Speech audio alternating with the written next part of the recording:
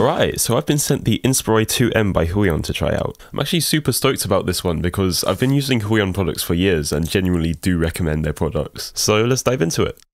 It comes in black and pine green, and I thought the green was so nice I just had to choose it. I think the pen stand is really cute, and it also has replacement nibs for the pen, which is always nice. In terms of setup, it's super easy. You just plug it in and you're pretty much set. With the driver, you can customize all the buttons and you can change the orientation. So it passes the left-handed check, love to see it. It feels pretty solid to draw and it has a kind of paper-like texture, and the pen glides across the surface really nicely. The pressure smoothness is so satisfying as well. But one thing I really like about this tablet is the little dial. I have it set to brush size and it's so nice, I wish my main tablet had this. Now it says this should also work on Android devices, so let's put that to the test. It comes with this adapter so I can just plug it straight into my phone, and it works straight away. The pressure still works, and in general I feel fully in control of my brushstrokes. Now I'm yet to do a full piece with this tablet, so stay tuned for that, and thanks Huion for sending me this. Yeah!